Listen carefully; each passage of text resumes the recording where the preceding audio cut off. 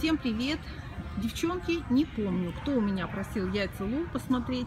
Я отказывалась, отказывалась, но сейчас вот случайно совершенно здесь в Маршалсе а, в отделе игрушек я вижу эти яйца и не помню, кому я обещала послать. Поэтому выкладываю этот ролик в общий, так сказать, котел с сумочками. Но вот как бы кому интересно, вот эти яйца, я в них ничего не понимаю. Я только понимаю, что это оригинальные. Чем они тут отличаются, все вот эти, я не понимаю. Но цена у них по 5 долларов. Ну, 5 долларов это без налога, вот 4,99. Вот эти яйца лол. Кто у меня просил? Отзовитесь, пожалуйста, кому это было нужно.